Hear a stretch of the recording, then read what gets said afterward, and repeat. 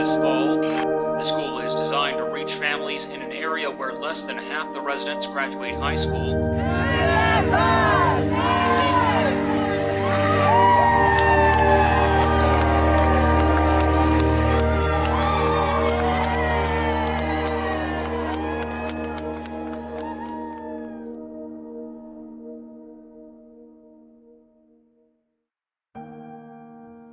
We began thinking about this school in 2007. The director of Girls Incorporated and myself would often meet for coffee and talk about how we could improve the lives of the girls we served every day after school. And we looked at each other and simultaneously said, we could open a school.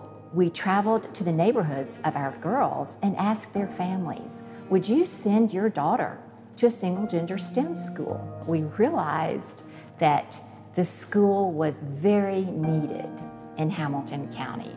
We put together a 500 page application and we submitted it to the Hamilton County Department of Education and they unanimously approved Chattanooga Girls Leadership Academy.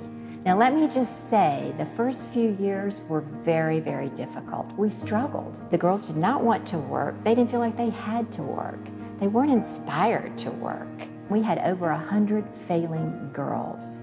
The state put us on the failing list, their priority list. So the CGLA Board of Directors put their heads together and they hired Dr. Elaine Swafford. And as it turns out, it's not really a job.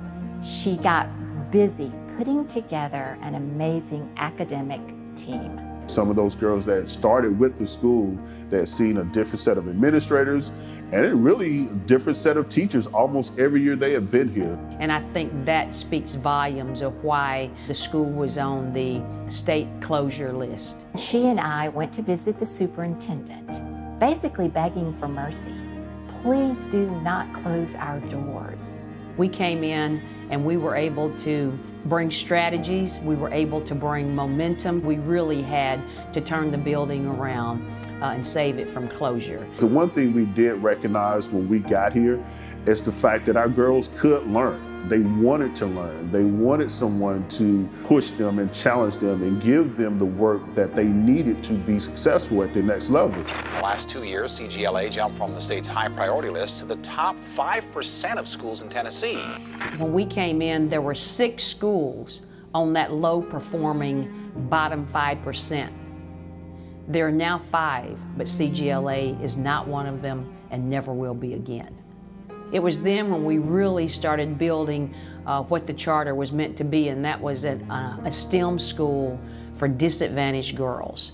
There's only 4 or 5% of girls of color who will enter STEM education or STEM careers. And every day we're changing that conversation for these girls. And so the kids today understand the importance of I've got to do well not only on the TNReady and the state proficiency test, they understand they've got to do well to get college scholarships. My first time taking the ACT, I made an 18, which was my junior year. And I wasn't really proud of that score, so I decided to take all the after school classes that CGLA provides for ACT prep. I took it again and made a 20, but that wasn't the score that I wanted to attend the school of my dreams.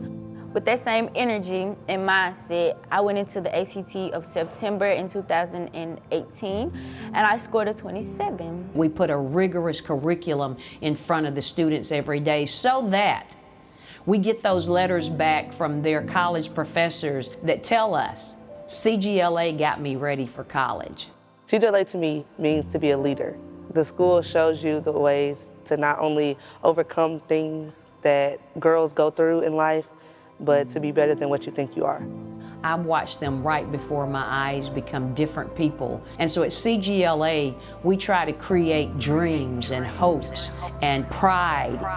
And we have an opportunity to say that uh, we had some immense impact on the young ladies and helping them dream to be things that they never thought they would be.